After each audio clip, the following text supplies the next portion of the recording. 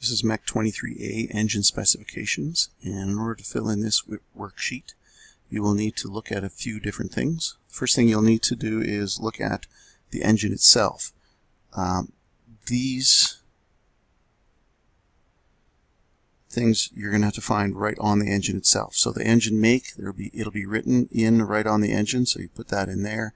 Model type and code we've looked at already, so you can put those in there. Engine displacement will be found by looking at the engine model number.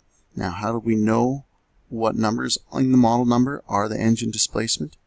First thing we need to do is go back to the Power Portal on this main page and you'll come up and you're going to click on Technical Publications search by model. And we've got two things we can do here. I've already shown you how to find some of the information through here. We're going to go to Engine Repair Manuals. When you go to Engine Repair Manuals, you're going to roll on down for the 5 horsepower engine to a single cylinder L-head engine after 1981. So that one right there. Once you open that up, this is what you'll see. And it's a PDF of the paper manual Good. All of the information that you're going to need, most of the information you're going to need is going to be in this general information section.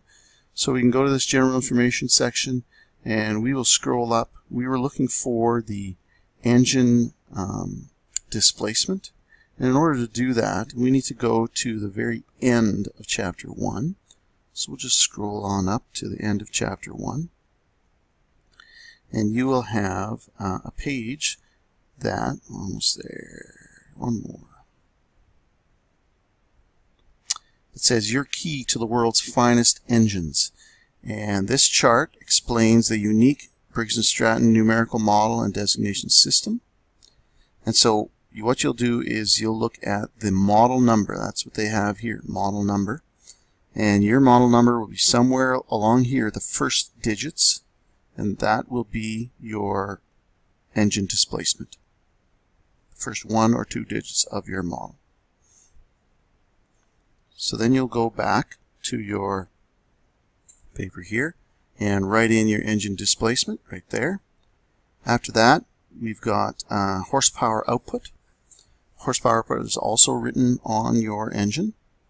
then we have type of fuel and type of oil. To find the type of fuel and type of oil, you're going to go back to this document and you know you'll find it in the first chapter. So I'm going to go back to near the beginning. And it will give you a few of the maintenance items that you need to do. So it's looking like it's on page 5 so you go to page find 5 find that information and then you will come back and fill it in. The next thing you want to find is the idle speed armature air gap, intake, and exhaust valve clearance. Place that you're going to locate those things is in one of the first pages. So if we scroll back to the top here, you're going to find before the table of contents, you'll see this chart right here. Now this chart is two pages long, so you have to picture it the first page first and then the second page. And you can see over here on this side we have the basic model series right there. That basic model series, if we go down, we'll be able to find our engine. It's one of these in here. Let's say it's that one. And then what we can do is we can scroll across and relate it to what we have up on top here. You can see oil capacity, armature air gap in inches, so that's one of the things you'll have to find. Valve clearance, intake, and exhaust. So we would follow it. We also have standard bore, inches, end play, some stuff like that too. What else do we need to find? So we saw armature air gap, we saw intake valve clearance, we saw exhaust valve clearance. Now we need to find idle speed. So another way to do this in this section is to use your keyboard and you're going to hit Control F. When you hit Control F, you'll see a little window pop up in the top right there. That little window, we're going to type idle speed. There we go.